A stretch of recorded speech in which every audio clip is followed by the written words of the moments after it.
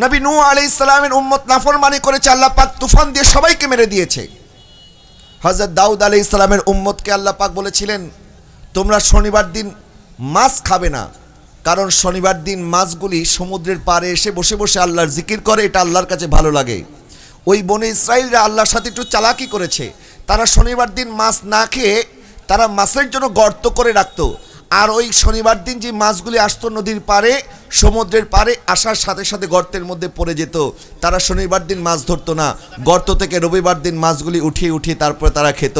আল্লাহ বলে, তোমরা আমার সাথে দোকাবাজি করো? আমি কি তোমাদের দোকাবাজি বুঝতে পারি নাই? বরং আল্লাহ সুবহান ও তারা অবশ্যই তাদের মনের খবর জানেন। যার কারণে আল্লাহ দাউদ আলি ইসলামের ওই নাফরমান উম্মদদেরকে বানর বানিয়ে দিয়েছেন। এমনিভাবে আল্লাহ সুবহান ও তাআলা লুত আলি ইসলামের উম্মত জেনাবে বিচারের মধ্যে লিপ্ত থাকার কারণে আল্লাহ তাদেরকে পাথর বানিয়ে দিয়েছেন। বিগত নবী আলিহিমুসালামদের উম্মতগণ যখন গুনাহ করত, তখন তাদের দরজার মধ্যে লেখা হতো যে এই ব্যক্তি আজকে রাতের মধ্যে এই গুনাহ করেছে। যারা জেনা করছিল তাদের ঘরের মধ্যে স্পষ্ট লেখা থাকতো, এই ঘরের মধ্যে একটা জেনাখোরের বসবাস। যারা ঘরের মধ্যে মদ পান করতো, তাদের ঘরের দরজার মধ্যে লেখা থাকতো, এই ঘরের মানুষটা গত রাত্রেবেলার মদ পান করেছে। কিন্তু আল্লাহ তাআলা আমাকে আর আপনাকে এত বড় আজাব দেয় নাই। আমরা গুনাহ করার পর গুনাহ করছি, কিন্তু এখনও মানুষ আমাদের গুনাহ সম্পর্কে জানে না।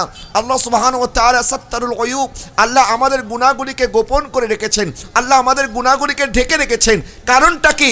কারণ আমরা তো অন্য নবীর উম্মত নই, আমরা মোহাম্মদ মুস্তফার উম্মত। আরও জোরে বলুন না, সুবহানাল্লাহ। এটা আমাদের নবীর কারণে রাহমাতুলিল আলামিনের কারণে, আল্লাহ পাক তার হাবিবের সাথে ওয়াদা করেছিলেন ওয়ামা কান আল্লাহু লিউআযিবাহুম ওয়া আনতা ফীহিম। আল্লাহ তার হাবিবের উম্মতকে কখনো ধ্বংস করবে না। কখনো তাদেরকে জমিনের মধ্যে একদম শেষ করে দেবে না। বরং আল্লাহ আমাদের জন্য তওবার দরজা খোলা রেখেছেন। আমরা যতক্ষণ পর্যন্ত তওবা করব, আমার আল্লাহ ততক্ষণ আমাদেরকে ক্ষমা করতে থাকবেন। সোবাহান আল্লাহ বলেন।